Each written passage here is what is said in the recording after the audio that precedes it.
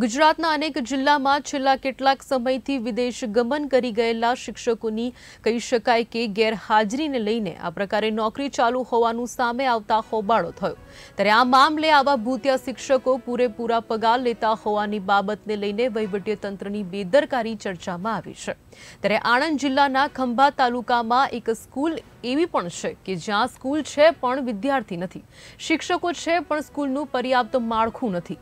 મેદાન છે પણ રમતગમતના સાધનો નથી અહીં પગાર સહિત મહિને ત્રણ લાખનો ખર્ચ થાય છે આ સ્કૂલ એટલે જ્યુબિલી માધ્યમિક હાઈસ્કૂલ ખંભાત શહેરથી નગરા રોડ પર જતા એકાદ કિલોમીટરના અંતરે ડાબી તરફ બીડી રાવ કોલેજ કેમ્પસ આવે છે કેમ્પસમાં જ ત્રણ સ્કૂલ આવેલી છે જે પૈકી બે ખાનગી સ્કૂલમાં વિદ્યાર્થીઓની સંખ્યા સારી એવી છે જ્યારે જ્યુબિલી માધ્યમિક હાઈસ્કૂલમાં શૈક્ષણિક સસ્ત્ર કહી શકાય કે શરૂ થયાને બે માસનો સમય થવા આવ્યો હોવા છતાં પણ અહીં એક પણ વિદ્યાર્થી નથી. આ મામલે પૂછવામાં આવતા જિલ્લા શિક્ષણ અધિકારી ડોક્ટર કામિની ત્રિવેદીએ જણાવ્યું કે, આ બાબતે સંચાલક મંડળ સાથે સુનાવણી કરવામાં આવી છે અને શાળાને બંધ કરવાનો નિર્ણય લેવામાં આવ્યો છે અને શિક્ષકોને ફાઝલનો ઓર્ડર કરી અન્ય જગ્યાએ સમાવેશ કરવામાં આવશે.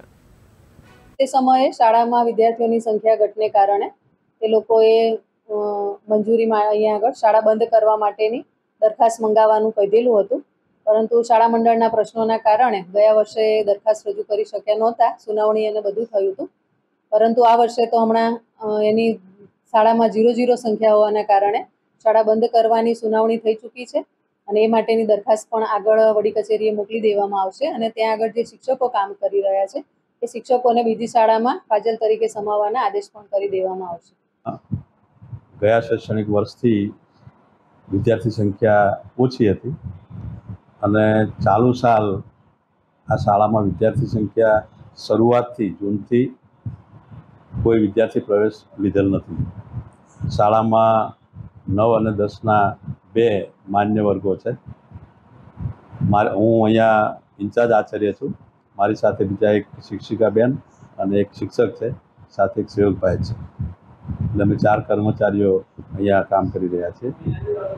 શાળામાં વિદ્યાર્થી સંખ્યા ના આવવા પાછળ અગત્યનું કારણ કદાચ આપણે કહીએ, તો શહેરી વિસ્તારથી છેવાડે આવેલી શાળા છે. ત્યાં સુધી નજીકની જે શાળાઓ છે, મોટી શાળાઓ છે, એટલે ત્યાં પ્રવેશ થાય, ત્યાં સુધી વિદ્યાર્થીઓ આ બાજુ આવતા નથી. અમારી પાસે જે વિદ્યાર્થીઓ આવે છે, આ બાજુ સીમ વિસ્તારથી આવે છે, એટલે એ પણ આ વખતે આવ્યા નથી. અમે અમારી રીતે ઘણા બધા પ્રયત્નો કરીએ છીએ. પ્રાથમિક શાળાની મુલાકાતો કરીએ છીએ. વાલી પાસે ઘરે જઈએ છીએ.